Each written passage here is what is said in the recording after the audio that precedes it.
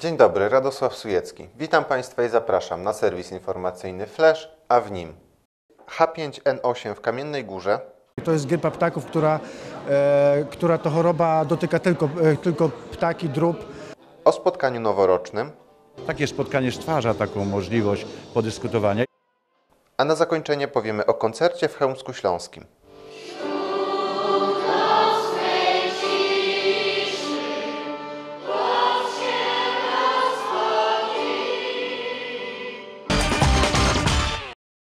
Wirus grypy ptaków wykryto w Kamiennej Górze. Łabędzie znalezione martwe nad Kamiennogórskim Zalewem były zakażone tą chorobą. W ciągu ostatnich kilku dni na ośrodku wypoczynku świątecznego odnaleziono martwe ptaki. Po dokładnym przebadaniu łabędzi okazało się, że były zakażone wirusem H5N8. To jest grypa ptaków, która, e, która to choroba dotyka tylko, e, tylko ptaki, drób. E, nie zagraża ona, to podkreślamy, że nie zagraża ona ludziom. Natomiast względem taka profilaktyka jest, że na, na tą chwilę, w związku z tym, że dzisiaj już mamy badania e, tych łabędzi, które padły w ostatnich dniach i wiemy, że to jest e, grypa ptaków H5N8, e, podjęliśmy kroki w konsultacjach oczywiście z lekarzem weterynarii powiatowym e, i wydajemy takie informacje, jak się zachować, co należy robić, a czego nie robić. I generalnie w związku z tym, że ta grypa ptaków dotyczy dzikiego ptactwa, konkretnie łabędzi nad naszym zalewem kamiennogórskim, e, ustawiliśmy również takie tabliczki nad zalewem o zakazie podchodzenia do tych ptaków, o zakazie dokarmiania, e, i o zakazie wprowadzania psów e, i zwierząt, dlatego że na zwierzętach fizycznie tego wirusa można przenosić.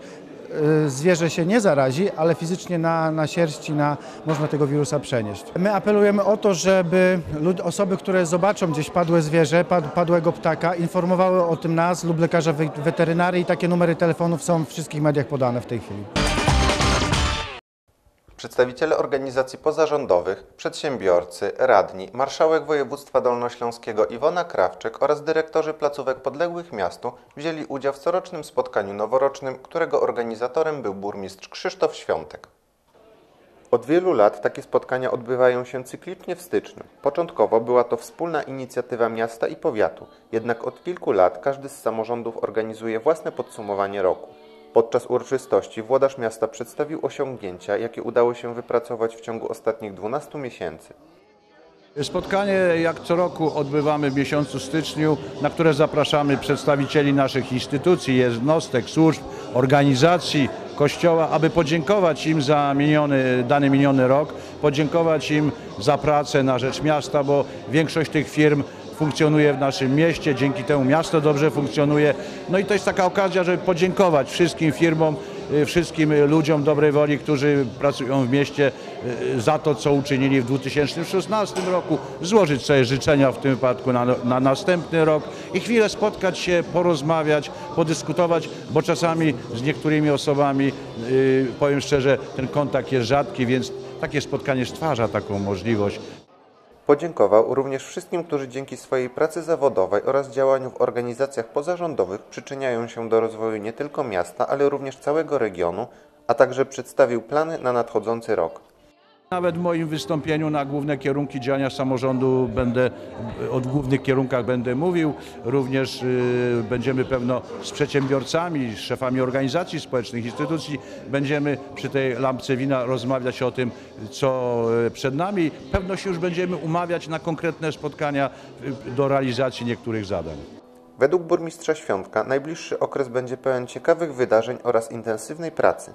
Dla miasta powinien być dobry. Jestem przekonany, że taki będzie, chociaż będzie to rok ciekawy i na pewno dynamiczny i na pewno zaskakujący, bo dużo się dzieje i w Polsce i na świecie. To się też przekłada.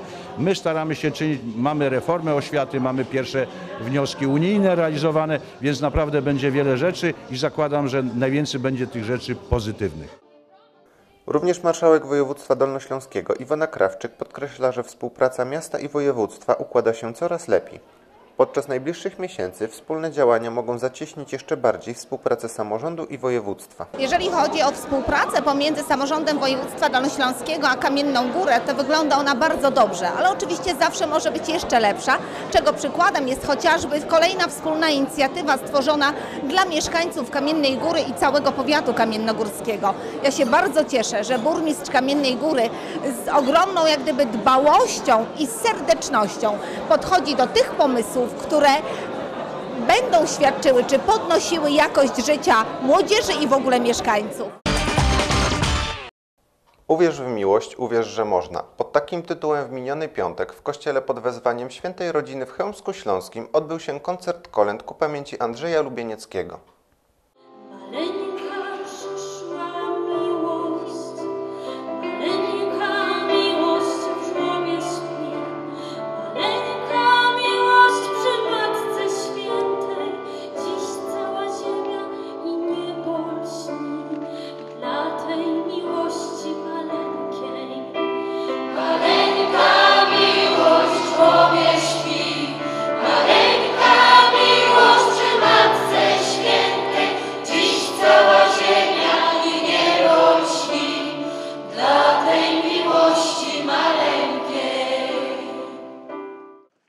Mieszkańcy Chełmska Śląskiego i okolic, którzy zebrali się w odświętnie przystrojonej świątyni, podczas dwugodzinnego koncertu mogli wysłuchać najpiękniejsze kolendy i pastorałki zaprezentowane przez lokalne zespoły.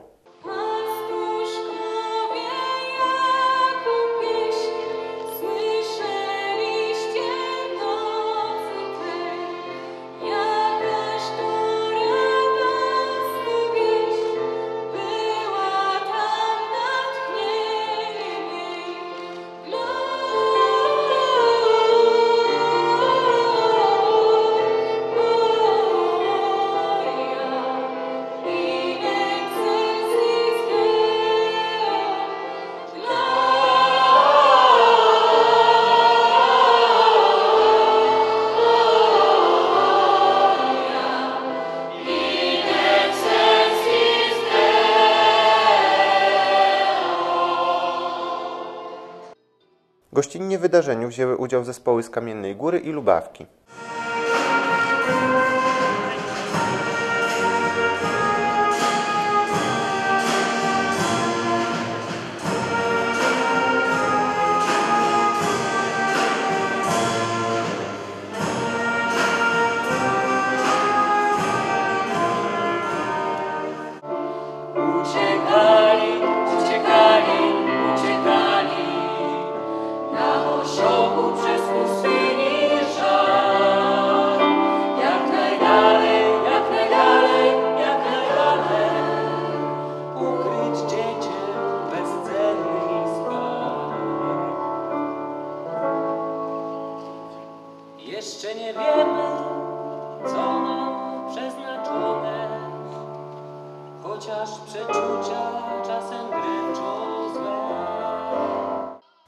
Dla zebranych gości śpiewali również mieszkańcy Chełmska Śląskiego.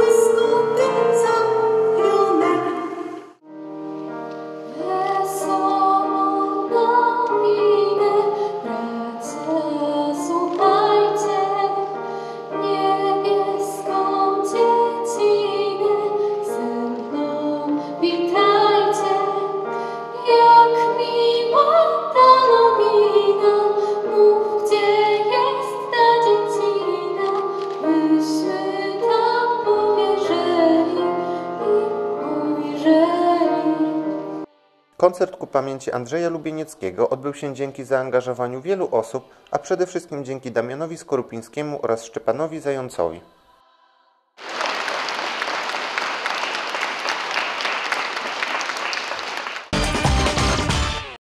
W dzisiejszym programie to już wszystko. Dziękuję Państwu za uwagę i zapraszam na kolejne wydanie serwisu informacyjnego Flash. Do widzenia.